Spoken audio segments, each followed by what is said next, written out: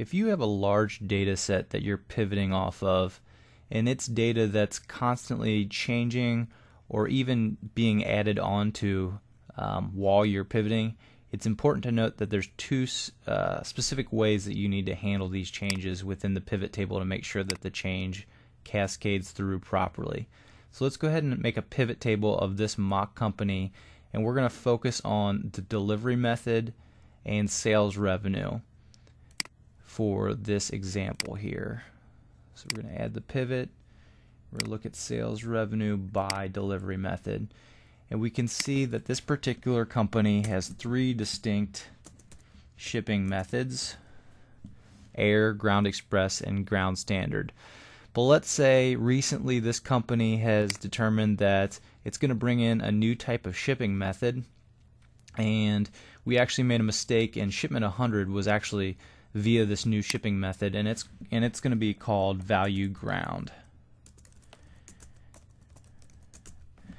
And now if we go back to the pivot table, we'll notice that it didn't automatically capture the change. And to do that, we need to go back here and click refresh. And we see that value ground now is included. So if we change anything within the existing data set, we have to make sure that we click refresh to make sure it gets captured. Now let's say that this is a living document and all new sales are getting captured. And there's two new ones that just came across. And we're going to make these all the same. Let's change these up a bit. These are the sales revenue. We're going to make it $100 and $100. But everything else is going to be the same here. So now we have included three value ground shipping, or we've added two to the existing one and we originally had $52 being sold, but now we have 200 more dollars being sold via this method. And when we go back here, we see that the 53 is still the only thing being captured. And if we go here and click refresh, it still doesn't capture those new lines. To capture those new lines, we need to go to change data source.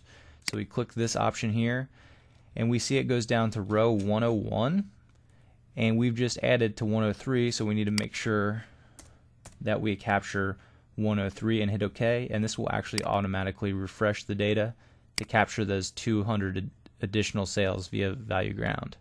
So just remember if you have a living data set that you're pivoting off of and you change existing data, you're going to have to click refresh for it to cascade through. And if you add new data onto your original data set, you need to change the data source, and you do that by using this icon here. Thanks a lot for watching. I hope this helps.